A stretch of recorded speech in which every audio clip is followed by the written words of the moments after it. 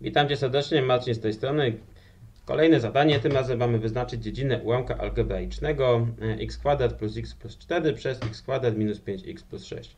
Oczywiście, żeby wyznaczyć dziedzinę, tutaj Wam napisałem, w jaki sposób się to robi. Czyli jeżeli mamy ułamek, to a przez b, to ten mianownik, czyli to b musi być różne od zera. Gdy mamy pierwiastek, to to, co pod pierwiastkiem ma być większe równe od zera. Czyli w naszym przypadku oczywiście mianownik to jest nasze x kwadrat minus, czekajcie, może innym kolorem, o. To jest oczywiście x kwadrat minus 5x plus 6, tak? No i to nasze x kwadrat minus 5x plus 6 nie może być zerem, tak? Ok. My sobie oczywiście sprawdzimy, kiedy to jest równe 0, a później zaprzeczymy to, żeby to nie mogło być zerem. Czyli oczywiście to jest równanie kwadratowe, czyli pierwszą rzeczą, jaką musimy sobie policzyć, to oczywiście deltę. Przypominam, że to, co stoi z przodu tutaj, to jest nasze a, minus piątka to jest nasze b i wyraz wolny, czyli szóstka to jest nasze c. Ok. No to piszemy delta równa się. Równa delta to jest oczywiście b kwadrat minus 4 razy a razy c i podstawiamy sobie. Czyli nasza delta jest równa b do kwadratu, czyli minus 5 do kwadratu to jest oczywiście 25. Minus 4 sobie przepiszę a razy c, czyli 1 razy 6 to będzie jedynka, tu będzie szóstka.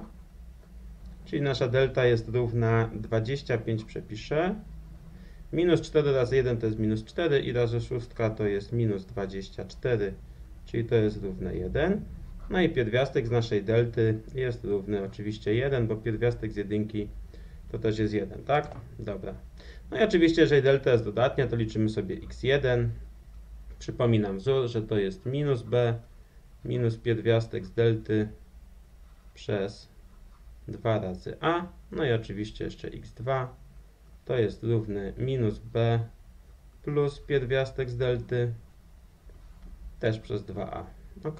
Dobra. No to liczymy sobie x1.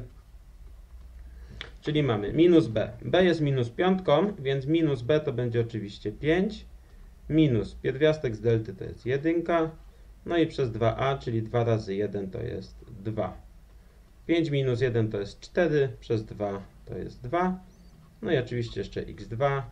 Tutaj jest minus b, czyli będzie też piątka plus pierwiastek z delty, czyli plus 1, przez 2 razy a, czyli też przez dwójkę, bo 2 razy 1 to jest 2.